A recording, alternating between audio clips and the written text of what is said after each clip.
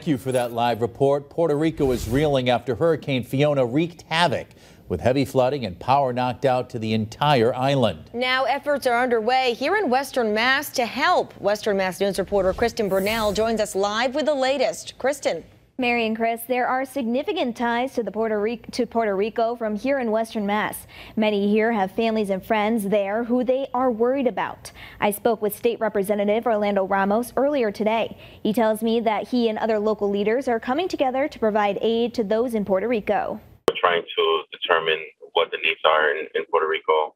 Uh, at the moment, um, we've been in contact with officials on the island, uh, just you know, offering our support. Local leaders in Springfield are coming together to support Puerto Rico after Hurricane Fiona hit the island on Sunday. You can see the damage here in this video. State Representative Orlando Ramos tells Western Mass News he is working with Representative Carlos Gonzalez and Senator Adam Gomez to localize relief efforts. It's hard to tell right now what, what they're what they're going to be needing from us, uh, you know, because it is still raining out there.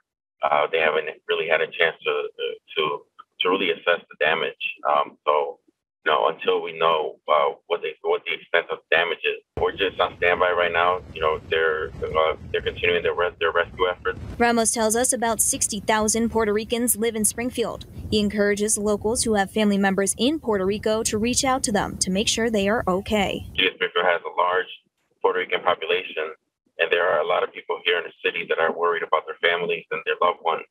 Um, and that's why it's important for us to have that direct communication to the Puerto Rican government. Springfield Mayor Dominic Sarno also released a statement on Monday welcoming anyone from Puerto Rico who may need a place to stay in the coming months, as the city did back in 2017. He says in part, quote, as my administration did before for our brothers and sisters of Puerto Rico during Hurricane Maria, by taking on the most of our fellow Americans in need in the state, we stand prepared to do it again. Ramos tells us he is heartbroken to see the damage on his island five years after Category 5 Hurricane Maria hit.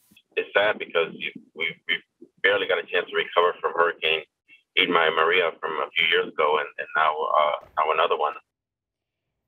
We did reach out to Eversource Westover Air Base and the Massachusetts branch of the Red Cross to see if they are sending resources to help those in Puerto Rico, but they tell us they have not received a request for aid at this time. Coming up at 6, what's happening in Holyoke to help? Live in studio, Kristen Burnell, Western Mass News. Thanks, Chris.